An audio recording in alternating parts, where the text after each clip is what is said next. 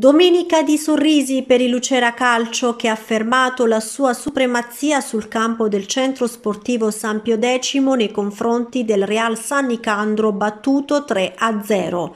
Dopo un inizio in sordina i biancocelesti hanno sbloccato il risultato nel primo tempo grazie a Pompetti. Nella seconda frazione di gioco gli ospiti di San Nicandro di Bari hanno provato qualche conclusione che il portiere Curci ha neutralizzato, ma è stato il Lucera a creare di più tanto da aver realizzato due reti siglate da Gianmarco Simone e Luigi Balletta, ma di occasioni ce ne sono state varie in realtà.